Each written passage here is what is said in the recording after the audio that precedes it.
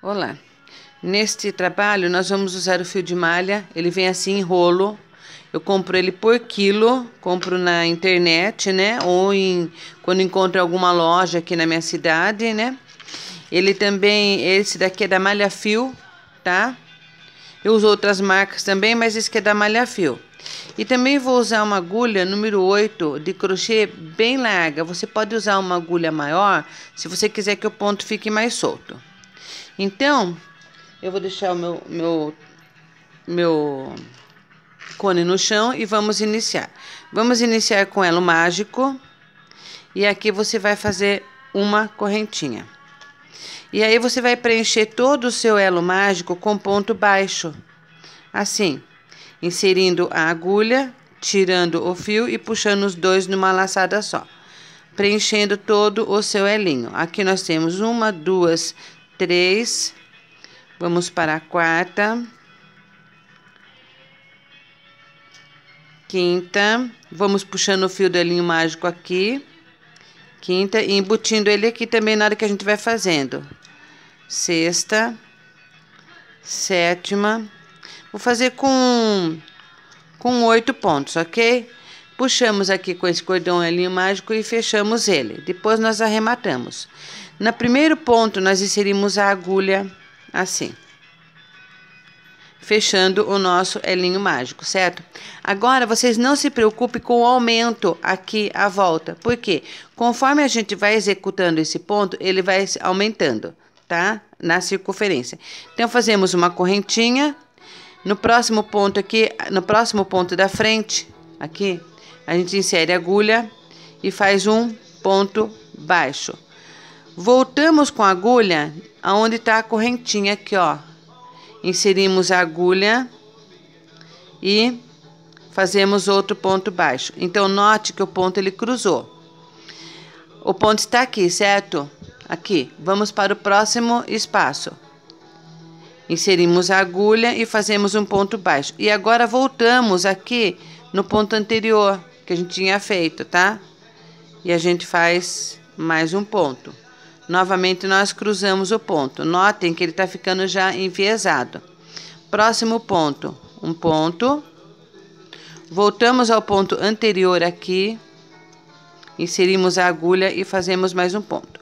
Puxe bem o fio, não aperte o ponto, porque se você apertar o ponto, é um fio de malha que ele estica. E se você aperta o ponto, ele vai fazer isso. Então, é que a maior parte das pessoas que entram em contato comigo aqui no meu canal é porque que o meu trabalho está é, enrugando, porque que o meu trabalho ele está hum, entortando, está enrolando, é porque você faz o ponto muito apertado. Então, note como eu faço o ponto bem levinho. Próximo espaço, um ponto, espaço anterior, um ponto. E assim nós vamos fazer até chegar aqui o início do nosso trabalho. Ok? Vamos lá.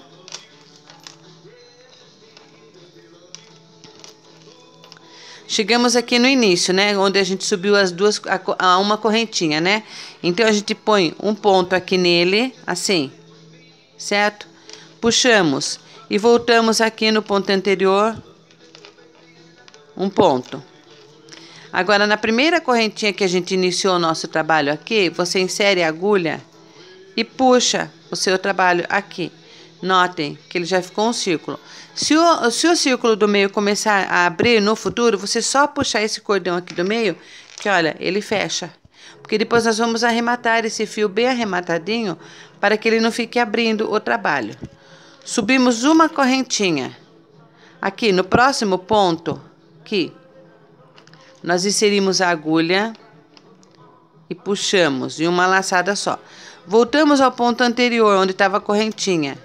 Inserimos a agulha e puxamos.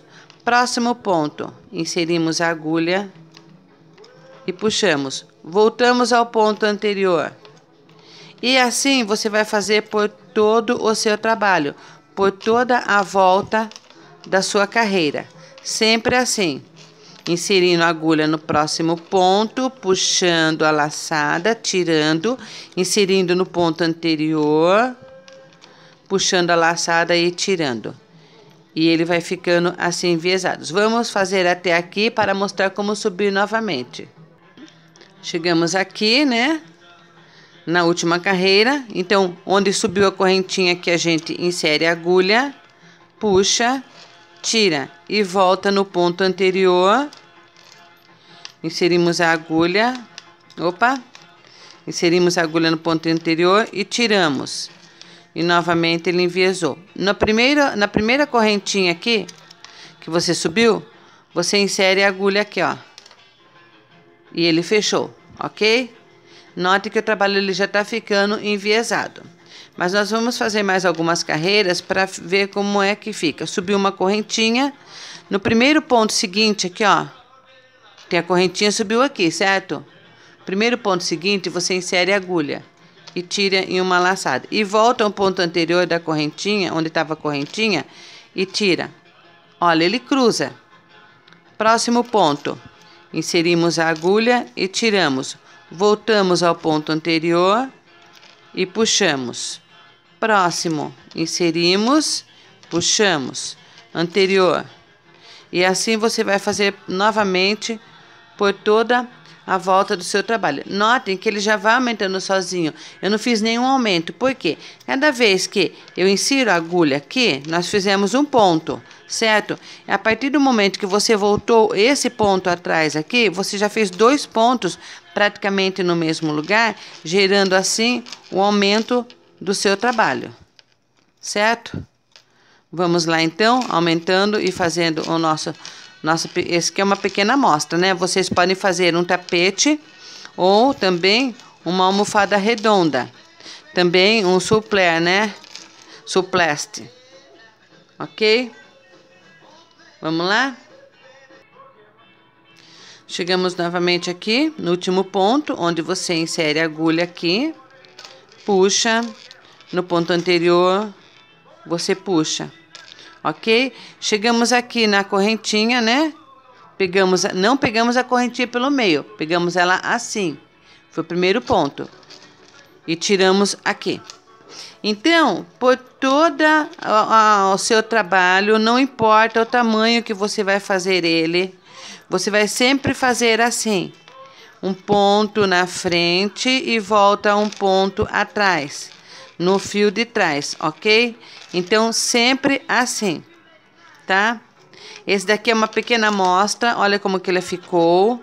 Vou mostrar do lado avesso, ele fica assim do lado avesso. Aqui é o lado direito, tá? Então, você vai fazendo assim sempre por toda a volta, até o tamanho que você quiser do seu trabalho. Não importa se ele tenha 30 centímetros, 60, 90 ou um metro. É sempre assim. E ele vai ficando esse ponto enviesado, ok? Então, o nosso, a minha amostra que vocês pediram está aqui. Espero que vocês façam. Se tiver alguma dúvida, deixa aqui no meu canal que eu respondo. Assim que eu receber a mensagem, eu respondo. Se inscreva no meu canal, ok? E se tiver algum pedido, alguma amostra diferente que vocês não saibam fazer, deixa no meu canal do Facebook que eu entrarei em contato e farei um, um, mini vídeo com uma mini amostra como essa que foi pedido por uma amiga minha do Facebook, ok? Gente, grata, mil beijos no coração de vocês. Fui e até o próximo vídeo.